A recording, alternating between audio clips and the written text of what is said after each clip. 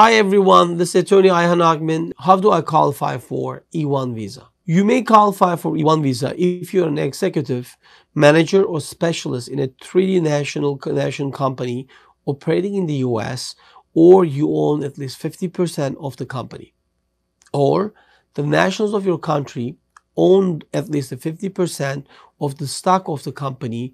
Uh, the firm has the nationality of the treaty country. You are a citizen of the treaty trade country and are involved in international trade. You are the immediate family member of a principal E1 visa holder.